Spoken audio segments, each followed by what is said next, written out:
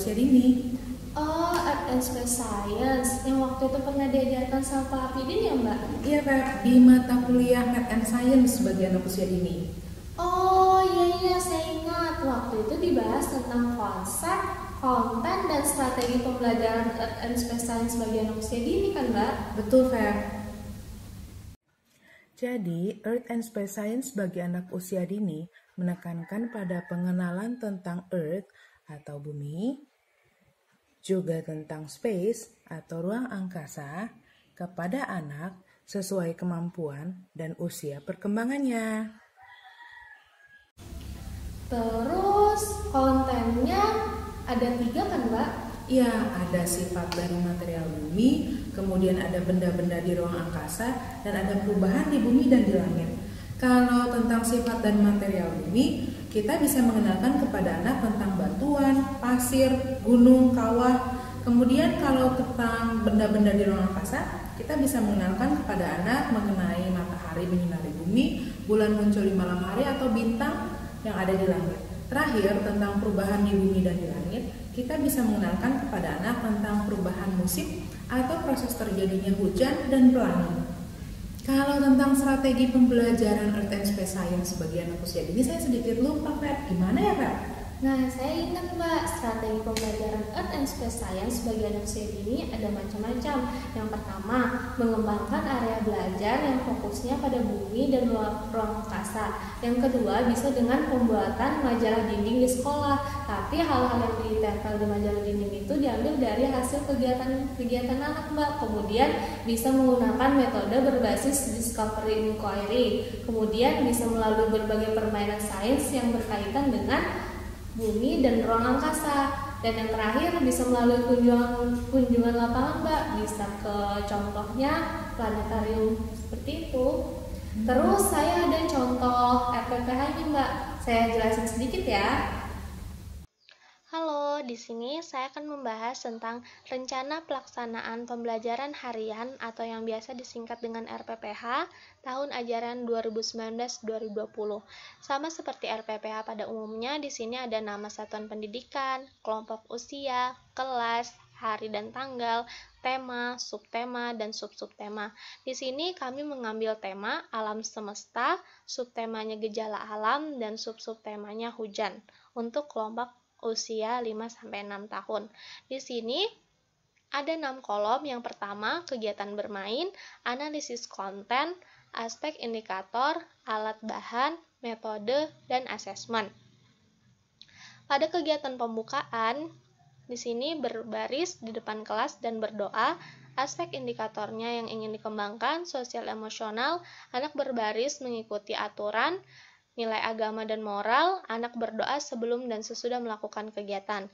Kemudian metodenya performance dan asesmennya observasi. Kemudian kegiatan selanjutnya bernyanyi lagu tik-tik bunyi hujan, aspek dan indikator yang ingin dikembangkan, bahasa, anak menyanyi lagu sederhana dan seni anak menyanyikan lagu sesuai irama. Metodenya performance. Kemudian, kegiatan selanjutnya ada bercerita tentang proses terjadinya hujan dan manfaat hujan, kemudian tanya jawab mengenai hujan. Aspek indikatornya bahasa, anak mampu menyebutkan hal-hal yang berkaitan dengan hujan, anak mampu mengeluarkan pendapat dan pengetahuannya tentang hujan. Kemudian, kognitif, anak dapat mengetahui proses terjadinya hujan dan manfaat hujan. Metodenya, performance dan bercerita untuk bercerita tentang proses terjadinya hujan dan manfaat hujan, dan performance untuk tanya jawab mengenai hujan. Asesmennya dengan observasi. Kemudian, masuk ke kegiatan inti. Di sini, pertama bermain sains, namanya percobaan membuat hujan. Dalam percobaan membuat hujan di sini, analisis konten yang dapat dituju adalah yang pertama, science inquiry. Anak memahami bagaimana cara membuat hujan. Kemudian, physical science, anak mengetahui bahwa es batu dapat cepat mencair jika ditaruh di atas air panas. Dan earth and space science, anak memahami tentang perubahan cuaca yang terjadi di bumi dan di langit. Untuk aspek dan indikatornya, aspek perkembangan yang dikembangkan di sini adalah kognitif, anak menunjukkan aktivitas yang bersifat menyelidik, kemudian sains, anak mengenal proses terjadinya hujan. Alat dan bahannya di sini ada air panas, es batu, dan toples. Metodenya penugasan dan asesmennya unjuk kerja. Kemudian, di sini terdapat skenario yang pertama, guru menyiapkan alat dan bahan. Alat dan bahannya itu ada air panas, es batu, dan toples. Di sini asesmennya observasi. Kemudian, anak menonton dan tanya jawab isi video tentang proses terjadinya hujan. Dalam kegiatan ini, analisis konten yang dituju adalah yang pertama, Science and Technology, anak memahami tentang jenis teknologi dan cara bekerja sebuah teknologi. Kemudian Earth and Space Science, anak memahami perubahan cuaca melalui proses terjadinya hujan dan Science in Personal and Social Perspective tentang memahami perilaku orang ketika menghadapi hujan. Untuk aspek dan indikatornya yaitu teknologi, penggunaan media tayang audiovisual dan kognitif, anak mengingat pengetahuan yang baru. Alat dan bahannya dalam menayangkan video tentunya ada video, laptop, dan LCD. Asesmen pada anaknya menggunakan observasi. Kemudian, di sini Kegiatan selanjutnya adalah anak menyimak penjelasan guru mengenai isi video tersebut.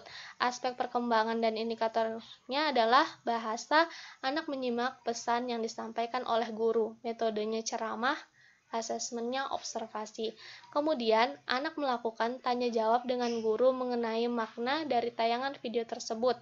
Aspek perkembangan dan indikatornya adalah bahasa, anak dapat menjawab pertanyaan dan menunjukkan pemahaman konsep sains melalui tayangan video yang ditampilkan. Adapun metodenya yaitu tanya jawab, asesmennya observasi. Untuk kegiatan selanjutnya, anak memberi nomor 1 sampai 4 secara urut gambar terjadinya hujan. Aspek perkembangan yang dituju adalah kognitif, indikatornya anak dapat mengurutkan proses terjadinya hujan. Metodenya performance dan asesmennya unjuk kerja. Kemudian ada anak menyebutkan alat dan bahan yang telah disediakan oleh guru.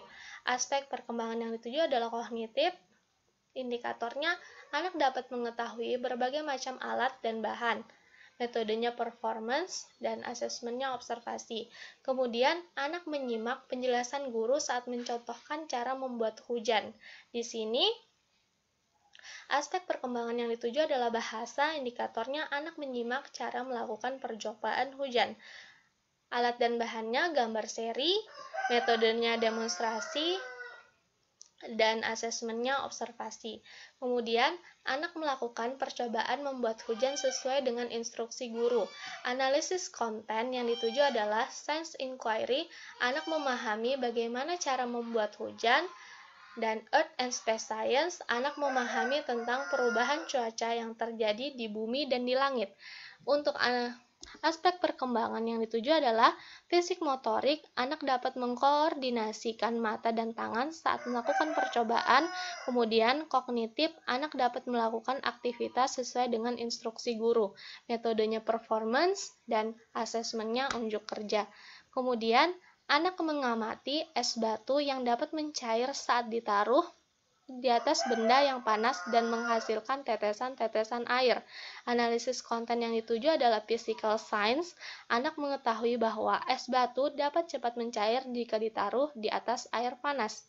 Aspek perkembangan yang tujuh adalah cognitive science. Indikatornya anak dapat mengetahui apa yang terjadi saat es batu bertemu dengan zat panas.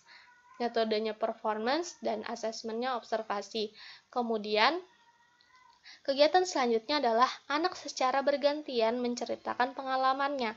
Aspek perkembangan yang dituju adalah SOSEM, dengan indikator anak menunggu giliran dan dapat percaya diri untuk tampil di depan kelas.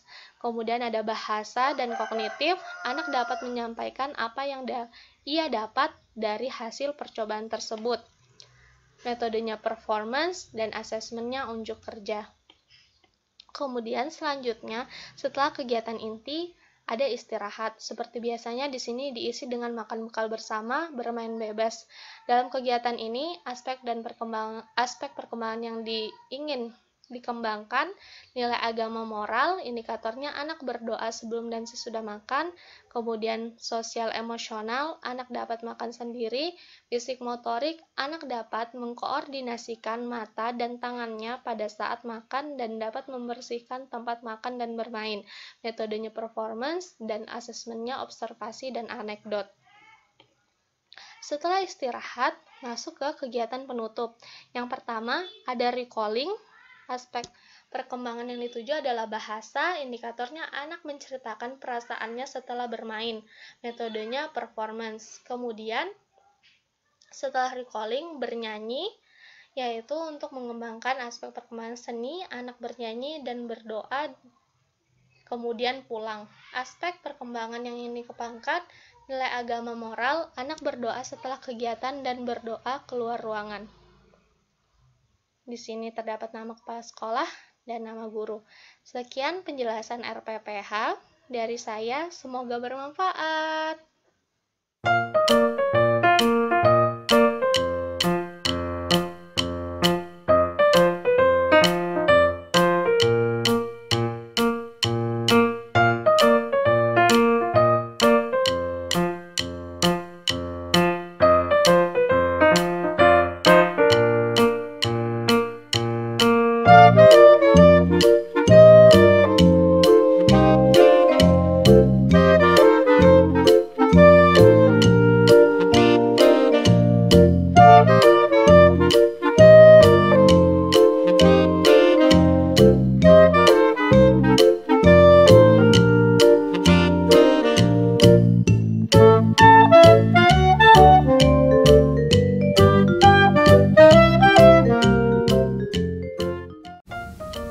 Demikianlah penjelasan dari kami. Saya Esra Sinaga dan saya Febri Makmura. Kami mahasiswa Pasca Sarjana Pendidikan Anak Usia Dini Universitas Negeri Jakarta membuat video tentang pembelajaran Earth and Space Science bagi anak usia dini dalam rangka memenuhi tugas mata kuliah Math and Science yang diampu oleh Bapak Dr. Habidin MPD.